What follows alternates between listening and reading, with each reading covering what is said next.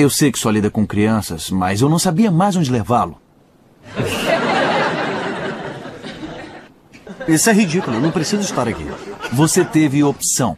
Ou tomar um banho demorado ou falar com a doutora. Muito bem, se eu tivesse que adivinhar, e é grande parte do meu trabalho, eu diria que, com base nos surtos impróprios e de sonambulismo, Alan está lidando com muita raiva oprimida. Raiva? Não, não, eu acho que não. Ah, fala sério. Sua esposa expulsou você de casa e ainda controla sua vida. Você tá falido. Hum. Só vê seu filho duas vezes por semana e num deles tem que trazer ele para essa exorcista de pirralhos.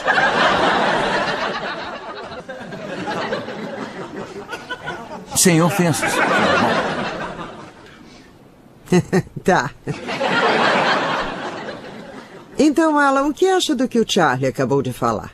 Não, ah, não, eu acho que não tem base nenhuma. Quer dizer, tem. É, eu, eu fico meio frustrado às vezes, sabe? Tipo assim, quando, quando a Judith não, não consegue o que ela quer, aí ela vem.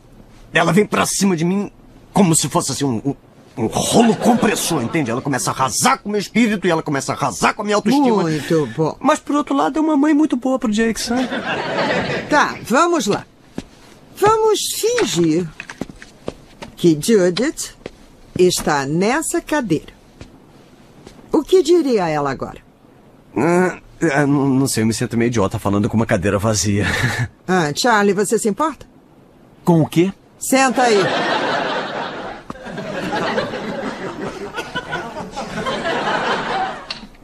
Agora, Alan, diga a Judith como você se sente. É, bom, é, Judith, é, eu, eu sei que você está cuidando das suas questões é, sexuais e, e, outras coisas e, e você tem o meu apoio. É para falar com ela. Charlie, lembre de que é a Judith. Hum? Desculpe. Fale comigo, Alan. Isso vai demorar muito? Porque eu tenho que fazer massagem e aula de tênis que ele paga. tênis? Desde quando você joga tênis? Eu disse, mas você não me escutou. Ele nunca escuta, ainda bem que o irmão o acolheu. Hum, tá, é, eu tô avisando. Tá é... me avisando? Tá bem, Alan. Como está se sentindo agora? Bom, é. Um pouco zangado. Mesmo? Porque não parece. Mas eu tô. Eu só não vejo nenhuma razão para fazer um grande espetáculo aqui. É, você prefere deixar de lado uma que realmente ganha vida com o corpo. Sexo vazio sem amor não é a resposta, Charlie. Miau! Eu tô ficando cansado disso. Tá, quer saber, Charlie? Eu também não ligo muito para isso. Se quiser, podemos marcar outra sessão para você tratar esse seu medo de vaginas. Agora, Alan. Perguntei a você se estava zangado porque ainda não vi qualquer expressão genuína do que, sem dúvida, é um sentimento muito poderoso. Tá, não, não, me desculpe, mas, mas é o melhor que eu posso fazer. Ah, vamos tentar outra coisa. Isso se chama bataca.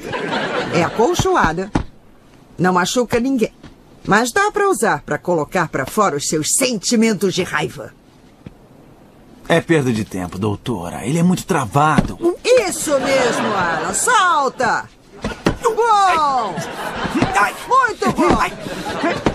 Eu tô zangada, tô zangada, tô zangada! Eu te odeio, eu te odeio, eu te odeio, eu te odeio, eu te odeio, eu te odeio, eu odeio todo mundo, eu odeio você! Espera, espera, para! Já é pra parar? Depende de você. Pagou por uma hora, né? Isso mesmo! Bate nele!